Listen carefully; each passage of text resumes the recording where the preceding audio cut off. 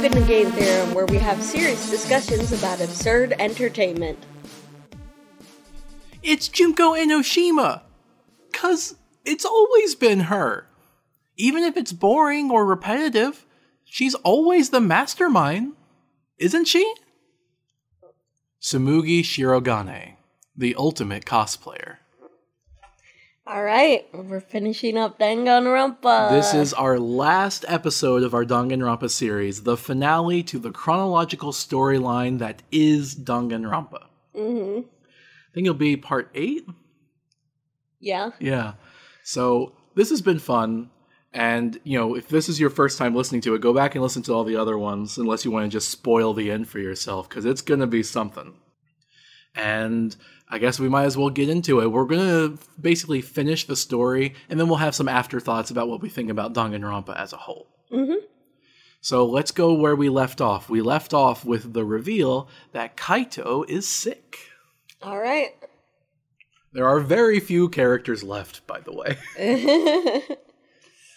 yeah, by this point, yeah. Oh, and as a reminder of trigger warnings for everything, also we'll be using meta and fiction to talk about which level of reality we are discussing. Mm-hmm. For starting, of course, where we left off with fiction. As a reward for completing the trial, Monokuma provided the students with keys to unlock new areas of the academy.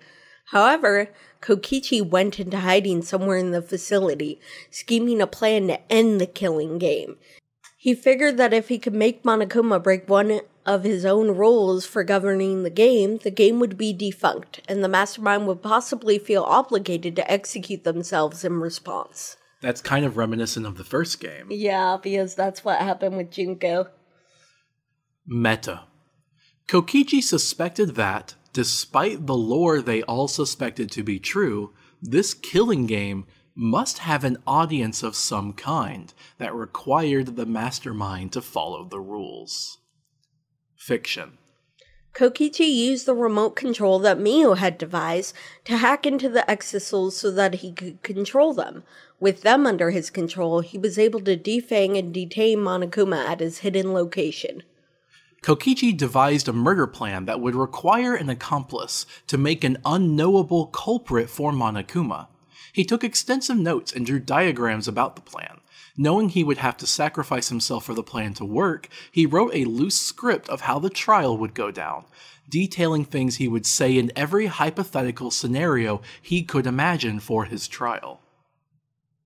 After working out most of the details, Kokichi decided not to use the plan unless another killing happened, and he aimed to dissuade that from happening. He also made a will that he left in his room alongside a bunch of other equipment he used in his schemes in the event that he died. His will revealed an unsolved puzzle that the other students had failed to notice. With Monokuma absent and Kaito gravely ill, Kaito began scheming to do an assault upon Monokuma, thinking the exisals were useless now that the Monokubs were dead. He began gathering weapons he could find, even asking Maki to show him how to construct a crossbow from her ultimate lab. So things are getting really intense. Kaito and Kokichi are both kind of going like suicidal in the hopes of ending the game. Mm-hmm. They're they're thinking of more than just themselves, but in very different ways. Yep. Kaito's like, well, I'm gonna die anyway. Might as well end this game. Kokichi's just like, this game isn't fun anymore. When Kaito invited the other students to the gym where he stowed the weapons to convince them to join him in an assault, Kokichi arrived as well, bringing the electro bombs and electro hammers with him. Kokichi lied to them as he usually did about his true motives, but they had tired of him.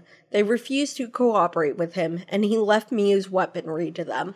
And I know we went on a whole bunch about uh, the tragedy of the character of Miu in the last episode, but here is literally proof that her inventions are invaluable. The plot could not have happened without her, and literally, even after death, she is saving all of them. She truly is, I think, the best character of this game. Mm-hmm. And Kokichi just kind of ganks her stuff and takes credit. Kokichi's such a jerk. Ugh, yeah.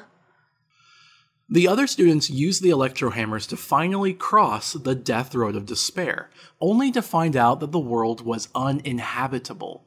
Kokichi, who had followed them, surprised them by lying to them that he was the leader of the ultimate hunt and the mastermind. To prove it, he displayed his command of the Exisals, and they all were compelled to believe him.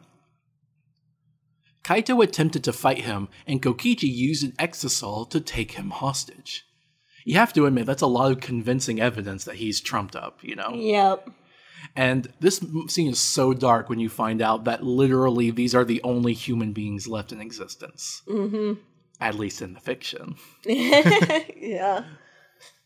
Kokichi left with Kaito and the Exisals to the Exisal hangar, locking it behind him. He thought that perhaps he could convince Kaito to be his accomplice in his plan to end the killing game if one ever started.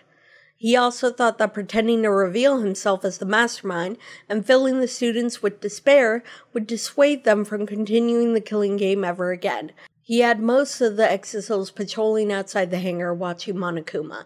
Monokuma, unable to fight the Exisals, simply waited. So Monokuma's effectively been taken out of the equation right now because uh, Kokichi really just didn't want Monokuma involved, right? Mm-hmm. And the actual mastermind is unable to do anything about this right now. Yep. And Kokichi's whole motive is like he's kind of an ally. He wants the killing game to end. He's taking on the blame for our suffering or whatever, right? Mm-hmm. But he's being a total jerk about it. Yeah. he's making himself like this like martyr or something, and it's just like, okay, Kokichi, whatever. Mm-hmm. I had to make this extremely elaborate, convoluted plan that would make me the martyr that you'd have to thank for all eternity. The other students were completely dejected with despair upon learning that they had been killing the few surviving members of humanity. Tsumugi, however, used their morose behavior as an opportunity to surreptitiously provide the next flashback light, simply leaving it in the kitchen for them to find. With nothing to lose, they used it, and it gave them all of their memories back, including the tragedy, Junko Enoshima, Hope's Peak Academy, Future Foundation, and hope. Meta. Tsumugi had made that flashback light hastily to not be discovered, and so there were some inconsistencies when comparing the memories she programmed to the lore of the Hope's Peak Academy arc. Lore inconsistencies? No! I mean, I admit I am frustrated by lore inconsistencies in fictional media. Mm-hmm. But she was in a rush because the one writing the lore is also a character. Fiction. They put all of their memories together to form a cohesive narrative of their lives in their minds, and they brightened with a sense of hope. They rationalized that the remnants of despair must never have been vanquished, that they just rebranded as the ultimate hunt, and they theorized that Kokichi must have been one of them. They decided to prepare an assault to capture Kokichi and rescue Kaito. Himiko scouted the Exisal hangar and discovered that Kokichi had locked Kaito in the bathroom, which had a small window to the outside of the hangar. Through the window, Kaito asked Himiko to smuggle one of Maki's crossbows to him so that he could wound Kokichi and escape. Himiko agreed and smuggled through the window the pieces of the crossbow, which he reassembled. Later that night, Maki decided to do the assault early by herself because she wanted to kill Kokichi in revenge for making them play this game. After all, Kokichi's like, I'm the bad guy, haha, just just live in fear. And Maki's like, no, I'm gonna kill you. Mm-hmm. She went to the hangar with another crossbow and an electro hammer, but she had laced the arrows with Strike 9 poison from Shuichi's lab. The hangar was protected with an electrified shield, but she used her electro hammer to take out one of the exisals. She then got inside it and used it to bypass the barrier. Meanwhile, Kaito ambushed Kokichi and fired an arrow non lethally into his arm in an effort to overpower him. The two of them then started brawling, but that was when Maki entered the hangar in her Exisal. When Kokichi attempted to use his remote to control the Exisal, Maki shot Kokichi with a poisoned arrow. Maki interrogated Kokichi as the poison slowly killed him, demanding to know why he had started the killing game for the remnants of despair but Kokichi hadn't seen the flashback light and didn't know about them. He lied to give her the answer she wanted, but when that failed, she shot another poisoned arrow to his head to kill him. So this is interesting because the whole like meta and fiction we've been talking about, it's now inconsistent. Everyone else has the memory that Kokichi was definitely a remnant of despair, but not Kokichi. He wasn't there for that flashback light. Mm-hmm. So even though according to the fiction that's who he was, he doesn't remember doing this thing that kind of never happened. Mm-hmm. He's he's reading from a different book in sort of a way as to what his character is. Yeah. He he knows that he's just a troublemaker, that he's not literally the architect of despair, right? Mm-hmm. But everyone else knows that he is. We have a lore inconsistency. Yep. And Maki kills him for it. Mm-hmm. He, he may not be dead yet, he's just poisoned, but that means she's going to be the one marked to kill him. Have to, and they'll have to go through a trial because of it. Yep. However, Kaito didn't want Maki to be executed for murder, and so he jumped in front of the Kokichi, taking the arrow for him and momentarily saving his life. Maki panicked and ran out of the hangar to retrieve the antidote from Shuichi's lab so that Kaito wouldn't die. So now they're both poisoned. Maki's gonna get a double murder. Mm-hmm. After Maki left, Kokichi realized he needed to pitch his plan to Kaito before it was too late. He locked the hangar, and Maki had to give the antidote to Kaito through the bathroom window. But Kokichi snatched it from Kaito and pretended to drink it, making Maki think Kaito would die. Maki, having drained the battery of her electro hammer and not able to get back into the hangar, then did everything she could to tear the console door apart to save Kaito. But she failed and eventually had to give up. Oh, that that part was really sad. Mm-hmm. You see the, the the console like she's just like completely jammed at it with a knife, and she just can't get in. Mm-hmm. After Maki left, Kokichi used his electro bomb to disable the Nanokumas from surveilling them for Monokuma. He then fed Kaito the one dose of antidote in a gesture of good faith. Kokichi showed Kaito his diagrams, scripts, and plans, and explained his plan to him.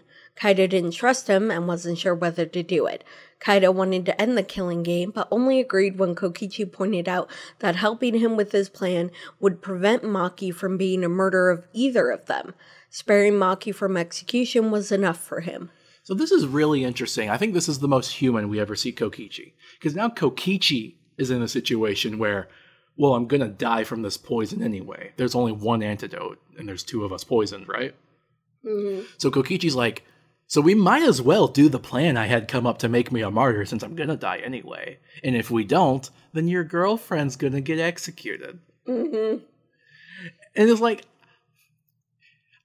did he come up with this? Like, I feel like he must have been kind of just winging and adapting the plan on the fly. I think so. Yeah. Because he only got Kaito to go along with it because otherwise Maki would be the murderer. I, he really underestimated Maki. Yep. Kokichi and Kaito worked together to set up the crime scene to make it look like Kokichi had killed Kaito, which included dragging Kokichi across the ground to leave a blood trail, as Kokichi still bled from his wounds. Kokichi set up a video camera to record footage of Kaito being crushed by the hydraulic press, whose safety function had also been disabled by the electro bomb. Right before Kaito was crushed, Kokichi stopped the video and the press. The two swapped places and clothes, and Kaito resumed both the video and the press. The angle of the video showed the grisly gore as Kokichi was crushed, without revealing that the victim in the video had been swapped at the last moment. Say what you will about Kokichi, he was dedicated to his plan of being the martyr. With Kokichi dead, Kaito stuck to his promise and continued the rest of the plan. He sabotaged the press so that it would never lift again, and he then jumped into the unattended exisal that had already been made available. Remember what Maki did? Mm-hmm. The remote control was crushed when Kokichi was, releasing the exisals from his control, except for the one that Kaito controlled. Kokichi had left Kaito instructions on how to modulate his voice while within the exisal. So basically, the two people go in, one person comes out. That person that comes out is in an exisal, we don't know which person it was, and we don't know which person died. Mm-hmm. I mean, I'm, we're telling you now because we're telling you exactly what happened, but none of the other characters know. When Monokuma was freed from the threat of the Exisals and discovered that a murder had occurred, he didn't want to admit that he was ignorant of the murder, and so he played along with the occupied Exisal to keep the game going as per the rules. He took the Exisal to the trial chamber to await the class trial. Yeah, so Monokuma's quietly furious about this. Monokuma's supposed to know the correct answer before going into the trial, and even Monokuma doesn't know. Mm-hmm. But Monokuma has to play by the rules. Yep. Mastermind always has to play by the rules. Mm-hmm. The next day, the other students began their assault. Maki only brought her knife, having already drained her electro hammer. Their assault failed when they discovered that a murder had occurred and Monokuma appeared before them. While the students conducted their investigation, Tsumugi snuck out to birth the Monocub so that Monokuma could later regain control of the Exisals. After the investigation, the students had a class trial. The Exisal played the part of both Kaito and Kokichi. Using the script Kokichi had made, along with Kaito's improvisation, the Exisal tried to lead the trial to the conclusion that the culprit was unknowable. When Monokuma realized that the ruse was to get him to incorrectly declare the verdict of the trial, he joined in on the class trial at the Exisal's expense. So, if, in case that's not clear, basically, Monokuma doesn't know the answer. So, whatever the outcome of the trial is, if Monokuma's like, okay, yeah, your vote was right or wrong, whatever, and then the Exisal opens and proves Monokuma's verdict incorrect, it would reveal the trial was a sham. In the hopes that the game would be a sham, not worth continuing, and that Monokuma and the Mastermind would have to admit defeat and possibly even face punishment for breaking the rules. Mm-hmm. So now Monokuma is having to argue in the trial because even he doesn't know. Yep. At first, they suspected Maki and then Kokichi, but Shuichi eventually determined that the body switch had happened and that Kaito had been the murderer. At the last moment, Shuichi realized what Kaito was trying to do, and he began lying to try to convict Kokichi for the sake of making Monokuma declare an incorrect verdict. However, it was too late. While Monokuma may have given an incorrect verdict and violated the rules previously, Shuichi's logic was airtight. Monokuma was very likely to give the correct verdict. You you did the detective work too good. You gave Monokuma the correct answer. Mm-hmm. And and, and Shuichi's like, oh um okay, I'm, I'm gonna just lie. Yeah, it's the other way. It's the other way. And Monokuma's like, no no, I I, I, I- heard I heard what you said, Mm-hmm. dummy. Ah, so all of Kokichi and Kaito's work was for naught. I mean, at least Maki didn't get executed, but Kokichi's idea of being martyred just fell through. Mm-hmm. Maybe, maybe working alone wasn't the answer. That you have to actually team up with your compatriots. Mm-hmm. Just saying.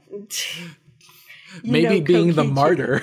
Yeah, well, you know, Kokichi wasn't going to work with everyone. He, yeah, he, but he wanted to be like the victim. He wanted to be. he wanted to put it all on himself. I know, I know. Kaito did not like those odds and did not want to risk Monokuma executing all of them, and so Kaito gave himself up, exiting the Exisal. They convicted Kaito correctly, and Kaito explained the details of Kokichi's failed plan. Kaito's illness was also becoming incredibly severe, making him barely able to stand without the Exisal supporting him.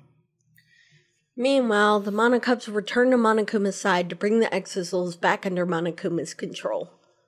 Blast off, second ignition, Kaito's execution. Monokuma pressed a button that activated an escape pod retrofitted into a rocket. The rocket encapsulated Kaito, turned around, and launched into the ground, drilling through the thin crust and plowing through the mantle, before going through an ocean on the opposite side of the planet, and then into low Earth orbit. Meta.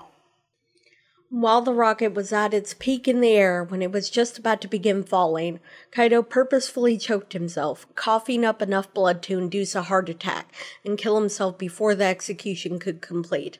The rocket crashed back through the earth before landing in the academy where it started. Kibo tried to protect the other students from the crash, but in so doing, his antenna was knocked off his head. Monokuma was furious that the execution had not gone according to the script. He realized that and used an emergency flashback light on the students that would make them regain all of their fictional memories, in the hopes of putting them back on script. So this execution is really interesting because they do the whole standard music and the Danganronpa execution theme. And this is literally an homage to the very first execution in the very first game. Mm-hmm. Jin's execution, remember? Mm-hmm. And but now with an actual astronaut. And Kaito's just like, no, you're not going to get your views and kills himself mid execution before the finale. Mm-hmm. And it's just kind of like a, yeah, you get them, Kaito. You go out on your own terms kind of thing. Mm-hmm. And it was just really beautiful and sad. And Monokuma is not happy. And something's going on with Kibo? Yeah. All right, fiction. The remaining students met up that night after the trial. Meta. We're getting really into the meta now because now we're going off script. Mm-hmm. Kibo didn't show. He was dealing with the ramifications of losing his antenna. He was no longer receiving signals from it, and what he perceived to be his conscience was quiet. He felt peaceful, like he had been gifted free will for the first time. With his free will returned, he made the decision to end the killing game by destroying the entire academy. He got his equipment from his lab and upgraded himself with laser guns and a jetpack, and he got to work. And so this entire time, Kibo's been like, there's this little voice in my head. That's my free will. It's actually the other way around. That voice in his head is guiding him and controlling him. It's the audience. Exactly. Mm-hmm. Uh, that, that's the real world version of it. That's mm-hmm. not what the fiction says, but that's the meta narrative. Mm-hmm. And now that that's gone because the antenna's gone, Kibo's like, I feel like myself for the first time. Previously, Kibo refused to use weapons. That was the voice in his head. Now he's like, oh no, I'm destroying everything. Yeah. I'm done playing by the rules of this game. Mm-hmm. Monokuma and the Monokubs were startled by the sudden destruction, and they chased Kibo down in the Exisals. They were furious that Kibo was going completely off script. He wasn't supposed to come to this revelation nor destroy the Academy. The other students, not wanting to die, asked Kibo what was going on. Shuichi said there may be a better way, and he asked Kibo to let them investigate the academy to discover a way to end the game without dying themselves. Kibo said he would hold the Exisals off until morning, when he would use the last of his energy to destroy the academy. Remember, the academy is like an air bubble on a hostile Earth, supposedly. Mm-hmm. So destroying the academy means supposedly they would all die. Mm-hmm. At least according to the fiction. Yep. Shuichi, Maki, Himiko, and Tsumugi investigated various parts of the academy that they had previously been unable to access, thanks largely due to Kibo blasting holes in various doors and walls. They learned a lot about the backstory of the Ark, and they met Mother Kuma, mother of the Monokumas. During their investigation, the students periodically received memories from their fabricated past, though they seemed real. In addition, the audience flooded Team Danganronpa with complaints about Kibo not responding to their commands. Oh, yeah, they were mad. After the investigation, Shuichi pitched a final trial to Monokuma, one where Monokuma and the mastermind would be exposed for breaking the rules of their own killing game. Monokuma accepted only if Kibo stood down. Shuichi convinced Kibo that this was better than destroying the academy, and Kibo handed himself over to the Monokubs in their exisals. They repaired his antenna and removed his weaponry. Monokuma snickered. Though Kibo had significantly accelerated the plot to the endgame, they were back on script. So this is what actually Monokuma wanted. I mean, he wasn't planning on going this way, mm-hmm. but now they're back within the rules. Now they're back in his domain. Yeah. And Shuichi's kind of a fool for doing that. Like, I get I get the reason they did it. They're like, no, please don't kill our only home on the planet. Yeah. But remember, that's only in the fiction. That's not reality. Yeah. If Kibo had destroyed it, they could have just left. Mm-hmm. they didn't know that though. Yeah. Fiction. After the investigation, the students had a class trial, starting by having a retrial of the first case. Shuichi suspected that Kaede had not truly been Rantaro's murderer. At first, they suspected Rantaro or a remnant of despair might be the mastermind. However, they pieced together the evidence regarding the secret rooms and realized that Rantaro's real killer must have been the mastermind themselves. They narrowed down their suspects until the only one it could be was Tsumugi. Now, we talked about this, but um, yeah, Kaede's murder was a complete sham, worst Mm-hmm. case in the entire series. And we talked about the real way it went down instead of the lie they tried to tell you at the beginning of the game. Mm-hmm. That she was super guilty and stuff. She wasn't even responsible. Yeah. But the script said that she was supposed to be the murderer, so they acted like she was. Mm-hmm. Anyway, so now they've pinned it down on Tsumugi. And also at this point, like, they don't even, like, hate Tsumugi. They don't, they're just like, well, it has to be one of us, and Tsumugi, your alibi just doesn't add up. And Tsumugi's like, oh, please trust me. Monokuma forced the Monocubs to play devil's advocates against the students, arguing against their points. But the students' logic was thorough. Each time they failed him, Monokuma pressed a detonator that killed a Monocub, until he eventually killed them all over again. Ah, That was so sad. It's just torture. The Monocubs, they're not great, but they're not evil. It's, they, they didn't ask to be made. Yeah. Unable to argue her way out of conviction, Tsumugi relented and revealed herself as the mastermind, Junko Enoshima the 53rd. She told them of her plan to infiltrate the Gofer Project and play one last big killing game for humanity. Meta.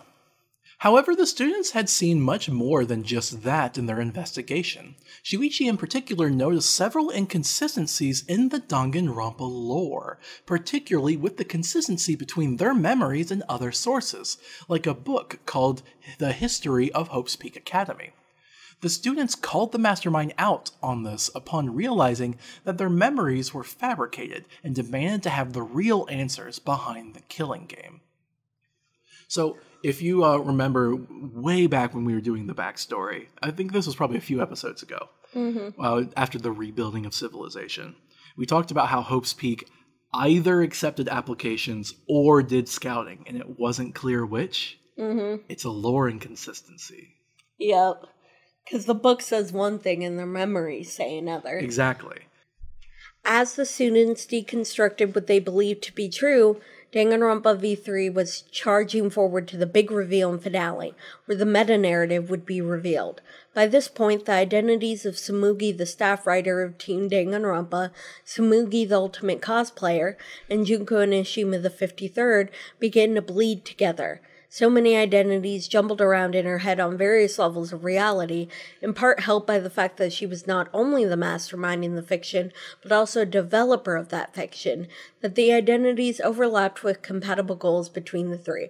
All three of them were effectively game masters of fiction. Yeah, so this Tsumugi character is a combination of three different people. Mm-hmm. She is Tsumugi, she is Junko, she is Kodaka. Tsumugi revealed her talent as the ultimate cosplayer, where she tapped into the augmented reality of the set to alter her appearance to any fictional character she wanted. She was limited to depicting fictional characters by her fictional counterpart's cospox condition. That wasn't an issue so long as she only portrayed fully fictional characters that never had real world counterparts, and so she began rotating her appearance between the casts of the first two Danganronpa games. They try to make it out, out like it's something more complex than that. I'm in Cospox, which means I must be fictional. But like we we already talked about the first time the Cospox thing happened, how ridiculous it was. Mm-hmm. Because there's a bit of a logical fail there if you just don't accept the fact that the reason it's okay for her to portray the first two games cast is because they didn't have this like meta narrative element to them. They were purely fictional and they didn't have a real world component to them. Tsumugi, the fictional character, rationalized her abilities as staff writer allowed her to cosplay the whole world. However, Junko was Tsumugi's favorite character and one of her fictional identities, and so Junko's motivation ceased to be purely fiction when she bled into Tsumugi's identity. Junko wished to bring despair beyond the fictional dead world and into the living world through the audience. Junko's goals of keeping the killing games going forever and ever were well aligned with Tsumugi's, all in the hopes of weaponizing Danganronpa itself to bring despair to the real world. To that end, Tsumugi kept going with the trial, with the assistance of her other self in the form of Monokuma, allowing the students to come to realize that their entire existence was fictional through the course of the trial. Do you have any questions about that, Kira? No. You get it? All of it? Yeah, yeah. Basically, all these three characters have the same goals, they're, and they're so merged that they not only want to cause despair in the fiction as Junko, the character, but uh, it bleeds into Tsumugi, the staff writer, and she also wants to cause despair into the real world. Yeah, think of it this way. Um, the staff writer Tsumugi, the the self insert for Kodaka, right? The the author, right? Mm-hmm. She's like, she's just, I want more Danganronpa. Danganronpa has to keep going, right? Mm-hmm. And then Tsumugi as the character is just a fan of despair and Junko, right? Mm-hmm. As the mastermind, she wants to keep this going. She loves Danganronpa. She's Danganronpa's biggest fan. Mm-hmm. And then Junko, as the arch villain of the series, wanting to bring despair to the world, Junko's just like, okay, so we're all fictional, except for me. I kind of have a bit of realness to me by the fact that I'm also the staff writer, apparently. Mm-hmm. So, you know what? Why don't we just bring despair to the real world? by having Danganronpa just be a despair-inducing video game. and it's a real acknowledgement of the uh, emotional appeal that video games and other art can have on the real world. Mm-hmm. Despair can be brought about not just by straight up like killing people or having killing games. It can also just be brought about by having depressing art. Mm-hmm. Uh, that it can emotionally affect you in that way. Mm-hmm. Particularly considering in this case, the real world, Danganronpa is the biggest video game series, and real real world people get sacrificed to play it. So I guess it's a bit more than that. Mm-hmm. I also like the idea that Monokuma is like her other self because Monokuma is a branch off from Junko. Yeah. So there's almost like there's a fourth person that's part of the the, the triumvirate. the students came to realize the futility of their existence. They learned of the audience that they were just characters in the 53rd game of Danganronpa, and that their old selves had been willing participants of the game. The students fell into despair, but the audience pushed Kibo to fight for hope. Remember, he has the voice in his head again. Mm-hmm. When Kibo thought he could bring his friends some hope, Tsumugi revealed that he was just an avatar for the audience. And so she wanted to see Kibo's hope deliberately broken to thus also break the audience. If you have an avatar for the audience, and in the fiction, that means Junko has someone that stands for all of the outside world people that she can break. yep. Tsumugi then got down to business by telling the students that the game was supposed to be played until only two participants remained, as dictated by the rules. Even if they had been fortunate to go off script and thus get to the finale with more participants than expected, only two could win the game, going with the tradition of the final choice of hope versus despair. Tsumugi told them that two of them would have to sacrifice themselves to win, but Kibo uh, immediately volunteered. Maki followed soon after. Right. The rules say you can only have two survivors. So since they accelerated to the end and got to this point sooner, more of them are alive than we're supposed to be. Mm-hmm. Right. Yeah. So they need people to sacrifice themselves for the game to end properly, according to the rules. Mm-hmm. With the sacrifices chosen, Tsumugi clarified the choice before them in the upcoming vote the students could choose to vote for despair through Tsumugi to execute her. But the killing game would continue. The rest of them would probably never kill again, but instead live out the rest of their lives in the academy, in the arc, on the set. Alternatively, they could vote for hope through Kibo, which would result in Kibo and Maki being punished, but the rest of them would be able to return to the real world.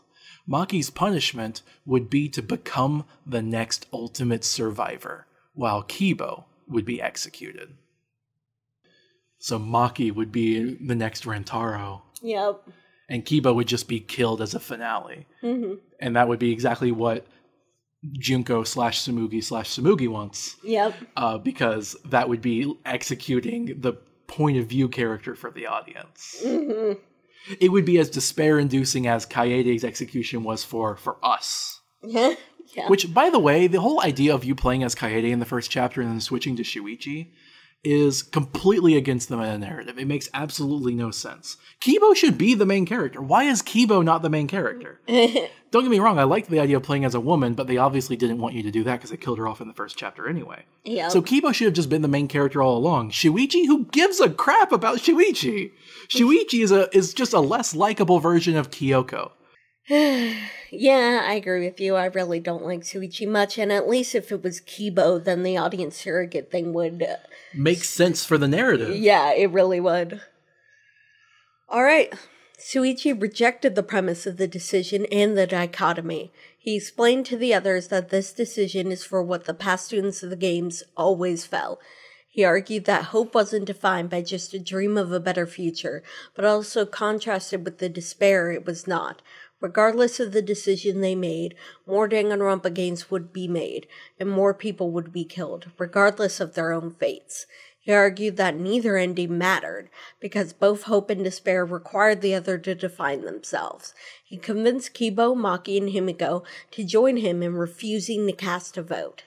So here we have some basic, like, the basic theme of this game is the rejection of bipartisanship. Mm-hmm. Because we already saw this theme building up in Danganronpa 3, where Hope kind of became a bad guy right at the end. The idea of brainwashing for Hope's sake when uh, with uh, the Ultimate Animator, right? So what we have here is a continuation of that thesis to its logical conclusion. The idea that yes, despair is bad, but hope isn't really much better. You hope for a better world, by definition, that means you're not in that better world. You are hoping for it. You have not achieved it. You have not reached it. Hope only exists to define itself against despair. So, therefore, if you want a third option, it doesn't mean you're necessarily between hope and despair and just being apolitical or crap. You could potentially be going further, saying, I'm not going to hope for a better world, I want that better world. I'm going to get that better world. I th- this artificial choice you have given me is not good enough. And I think it kind of speaks to how like video games inherently have violence whenever they do do choices. You know, you might like a good RPG, and no matter how many choices they give you, you're limited by the fact that those are the only choices. There are always extra that they simply may not have thought to provide. Mm-hmm. That's the kind of the way I see this. I think it's the most charitable conclusion. The worst way you could take it is basically just like goodness and badness are both wrong. We should get absolute neutrality. Mm-hmm. But obviously, that's a very childish take. Anyway, Monokuma panicked and antagonized the students in a desperate attempt to make them fight for hope, but the students refused to continue playing Danganronpa. Since not casting a vote was against the rules, everyone but Tsumugi would be executed. The audience, however, did not like that Kibo was ignoring their commands to side with Hope, and they voted to erase Kibo's personality. Kibo bowed farewell to his classmates as he was reset to his factory settings. Tsumugi made it clear that Kibo would vote for Hope as the audience wished, even if the others didn't vote. So they just like kill Kibo in the middle of a trial. Yep. Just straight up murder him. Yep. His body's still there. Now he's literally just like an automaton acting out the audience desires. Yeah, it's it's awful because Kibo had his own personality. I know, Kibo and Miu forever. The students pleaded with the audience to look at the bigger picture about what they were doing, about how their lives mattered, fictional or not, that real people died in these games, that despair was a corrupting influence. The audience argued back, giving Kibo commands on pithy arguments to retort. But the students begged the audience to condemn the killing games. The students tried to change the world with an appeal to empathy. And like Kibo is so toxic now. Yeah. Because Kibo's just basically like, lol. Yes. like imagine the internet. You're having an argument with the internet. I know. It's terrible. Uh, didn't he also say stuff like, like this was my favorite character or you know Danganronpa forever, know, stuff like yeah, that. Yeah, yep. Yep. Monokuma began the vote. Tsumugi abstained with the others, knowing Kibo's vote for hope was secure with the wishes of the audience. She'd be executed, but she never expected to survive this game. Tsumugi, the character, would share her fate with her classmates, but Junko would always live to be in the next game. Furthermore, she declared that Kibo would have to be the ultimate survivor in Danganronpa 54. By the rules, Kibo needn't be punished, but Tsumugi reinterpreted the rules as per Kibo's previous volunteer to be the sacrifice, as well as Team Danganronpa's insistence there be an ultimate survivor in every game. So, huh, it's almost like you're picking and choosing which rules to apply. yeah. However, Tsumugi spoke prematurely. The audience had been persuaded by the students' appeals, and the majority of them voted to tell Kibo to abstain. So Kibo abstained, resulting in a null trial where not a single student voted for hope nor despair. Tsumugi and Monokuma were shocked, but they realized there was nothing more they could do. The audience had been moved, and the killing games would end. Tsumugi, however, refused to end the game without a proper execution. She demanded an execution for them all for refusing to vote. Most of the audience began logging off Danganronpa, but the few that remained voted for Kibo to comply with Tsumugi's last request.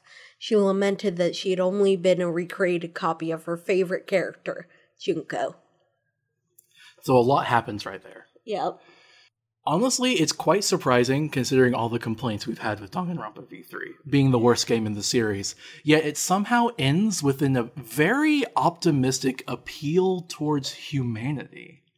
yeah, the, really. Because the, they convinced the audience to give up Danganronpa, and that's a big thing. Yeah, uh, they convinced the audience that hey, this series, this piece of media you love, has a death toll attached to it please give it up. It's the right thing to do. And you're speaking to the internet here. That's super toxic, right? Mm-hmm. And the internet goes, okay, this one is important. We get it. And they do it. Mm-hmm. And I love that. Maybe it's unrealistic, but I really do believe humans are good.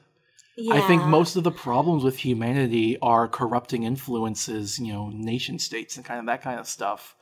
That we, you know, we, we have to, there's a reason we have to brainwash people into being bad. Because I think, for the most part, humanity is inherently worth saving. Mm-hmm. And it really feels like that's what they're saying with this that ultimately humanity will make the right decision because the audience made the right decision in the end. And a lot of people hated this ending because they felt like the whole fictional thing was saying that none of it mattered. But they went to great lengths to say, no, no, it's fiction, but it it still matters. Yeah, exactly. Because Shuichi himself says that fiction has the power to affect the real world. Yeah, people people act like it was like a twist, like oh, it was all a dream at the end. But seriously, imagine you watched a movie that had a twist that was all a dream at the end, but the dream inspires the main character to go recreate the events of that dream. Mm-hmm.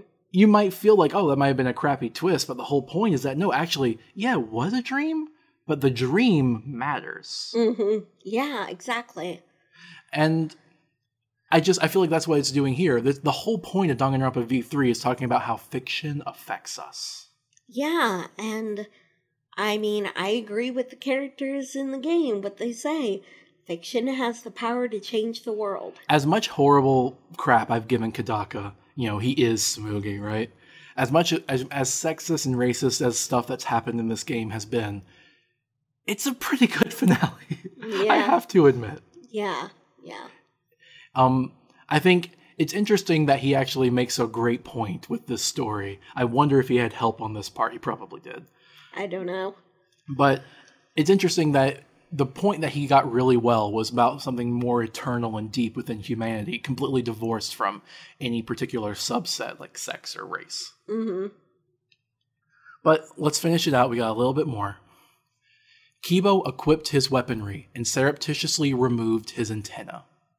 His true personality seemed to still reside within him and resurface upon removing the antenna, but he continued with the execution. Fiction. Ultimate annihilation.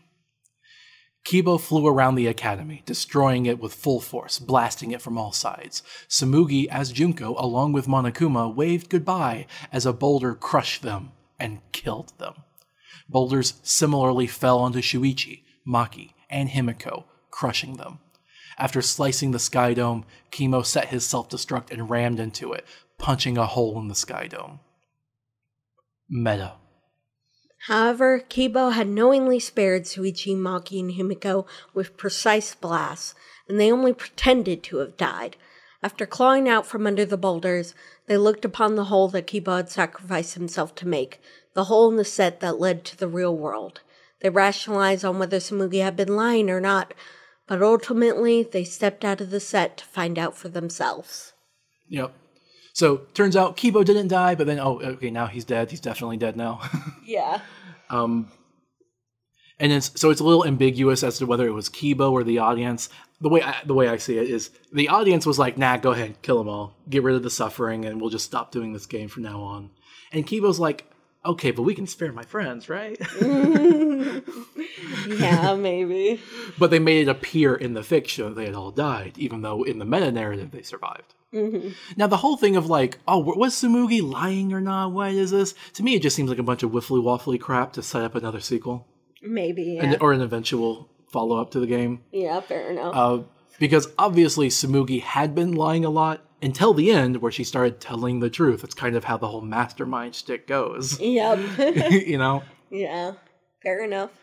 Um, so that's Danganronpa, and we already talked a lot about the themes. So we wanted to spend some time talking about the Danganronpa series as a whole, since this is our last episode. Mm-hmm. You want to go first, Kira? Uh, yeah, all right. What do you think of Danganronpa as a series, and how this has affected you? It's a really, really good series, and it's affected me a, lo- a lot. I, I love it, and it's it's part of been it's been part of us bonding together. Honestly, I told you about the anime, and you watched it, and then you know we ended up watching the whole series of the games played, and we watched Nico B's, B's playthrough, which is how we discovered Nico B. So like, It's also how we discovered Danganronpa, and like, oh, so this is a game apparently. yeah, yeah, we saw the first anime, and that was how we discovered. yeah, it. we found out that was based on the game. I But don't remember who told me about the anime. Honestly, I But- don't remember. Okay, but anyway, um, yeah, I think Danganronpa just it does so well with characterization, and I think this is true of a lot of anime, but I think particularly this one, and the way they have the killing games makes you see the extremes of those characters. You don't even have to see them for very long, and you feel like you've known them their whole lives. Yes, I've really bonded with these characters. And yes, there's a lot of like sexist and racist and homophobic implications throughout the series. Anime is really rife with these things. I don't think they're especially in this anime compared to other anime, but you know, let's call it for what it is. Mm-hmm. And I think there's a reason that despite that, the Danganronpa series actually has a huge amount of support amongst the, the really progressive people online. Mm-hmm. Like I've seen a lot of people that like Homestuck also liking Danganronpa. Yeah. Like like us. Um, yeah. So, and I think part of it is just because the characters are so well written, they seem real in a way. Yeah. Obviously, this isn't universal. Some characters do this better than others. Even characters I love, like Chiaki, were obviously written to be super likable. Yeah.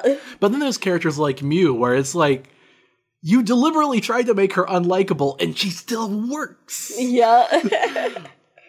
So I don't know. It's I, it's it's beautiful, and I do kind of like the whole hope versus despair thing. And then I love that the last game just kind of rejects that dichotomy. hmm I really like that too, yeah. And some people hated the ending, but I mean, we just kind of liked it. I really liked the whole idea of believing in the power of fiction to change the world. Yeah, I mean, isn't that the whole point of being an artist? Why make your art unless you're hoping it will affect someone? Yeah. And that effect. Can be positive or negative, Mhm. but don't we all want it to be positive? hmm And it changes you, it changes things. All art does. Yeah. It's important. Now, I do think it is important to talk about the future of Danganronpa. Oh, yes. Where is Danganronpa going from here? Now, I want to say that while we have given Kodaka a lot of praise on the finale of V3, one man does not a company make. Mm-hmm. Even though it is clear, as, as we've discussed in our past few episodes, that he gained more and more authorial control over the series as it aged, particularly culminating in this game with one of the most sexist openers imaginable, and also a lot of racism and homophobia. Tsumugi was homophobic. Uh, Angie's character was racist, and of course the sexism in Kaede and Miu. And Tenko. Tenko was an anti-feminist stereotype. So Kodaka has a lot of horrible baggage that for some reason he's feeling more and more willing to disclose. Uh, back in the time of the first Danganronpa games, these issues were much more minor and ignorable. Mm-hmm. They were not nearly as present. Yeah. So where is Danganronpa going from here? Well, the company that made Danganronpa is called Spike Chunsoft. They're the ones that really deserve the credit with the games. Yep. Kodaka is just the superstar, the the infallible god of games. See our episode on that. Mm-hmm. And after this game came out, Kodaka left Spike Chunsoft. He left the company. Mm-hmm. I don't remember what the reasons were, but you can guess. Mm-hmm. He's now forming his own company. I think he's working with one of the creators of Zero Escape or something, whatever. I don't know. But uh, he's formed his own company, making a new game. He's still working on it now. And it's basically Danganronpa if his genius wasn't hindered. Can you think of another example in media where that's happened? I wouldn't know. I, I'm sure it's happened somewhere. Yeah. Part of me thinks of like Death Stranding. Does that apply to Death Stranding? I, I seriously don't know. Where people are like, oh, my creative genius is unhindered, and they spend time making this game, and the game is either bad or just kind of weird. Yep. Because I would I wouldn't say Death Stranding is necessarily bad, but I wouldn't say it's good. Mm-hmm. It's just mostly weird. Yeah. There's also a lot of problems with it, but you know we're not talking about that game today. Uh-huh. So Kodaka is making another killing game, another uh, kind of uh, bunch of bunch of kids get together and they kill each other type of game, much like Danganronpa.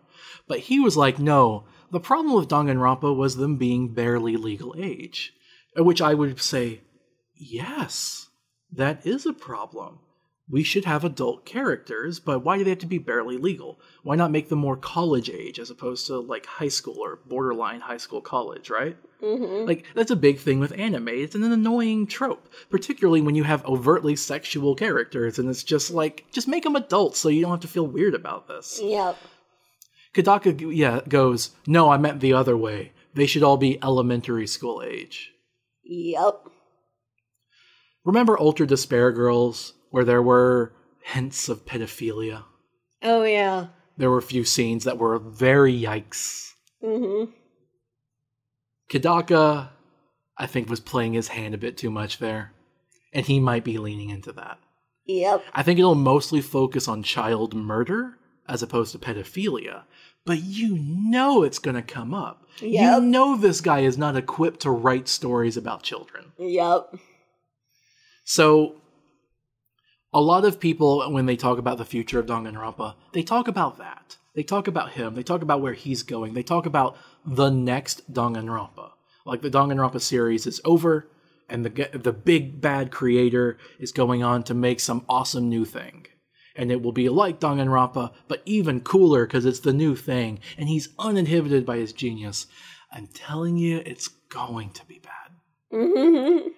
we're going to look at it and see this is why he was inhibited. This is his Star Wars prequels.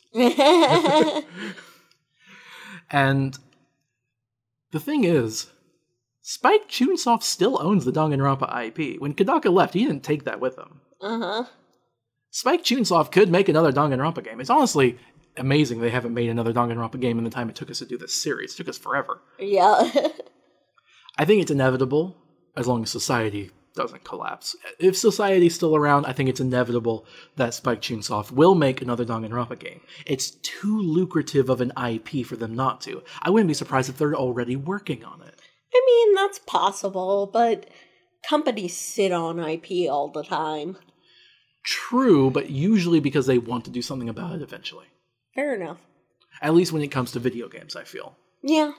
Now, there are some companies that are completely delusional about, it, like Bethesda, for example, sits on IP and doesn't do anything worth doing with it. Mm-hmm. So, like Bethesda has already missed several opportunities with the Fallout IP, for example. Probably Elder Scrolls, right? Mm-hmm. That's just because Bethesda's a bunch of idiots, Yep. or at least run by them. Yep. That might change now that Bethesda was bought out. Now, Spike Chunsoft, we don't know if they're that foolish. If they're not fools, they will try to capitalize on this. Mm-hmm.